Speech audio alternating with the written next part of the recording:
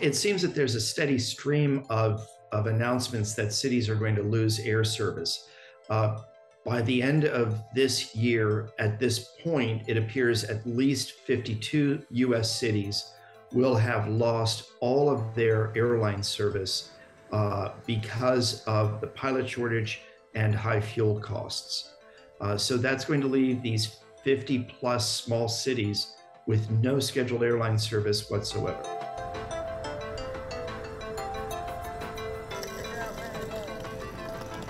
United is impacted on the regional side, on the pilots and the fuel prices and just the economics of the, the smaller regional jets. They're going to be suspending their operations here in Sonoma County starting November 1st.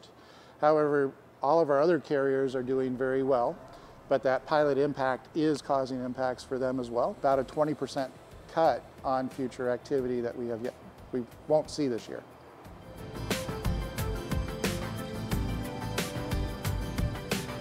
The airline industry offered early retirement and buyout uh, offers to pilots who met certain criteria.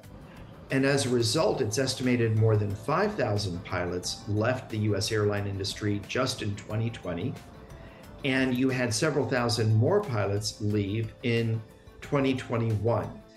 Airlines were caught uh, with their pants down, if you will, uh, when uh, travel demand began to recover,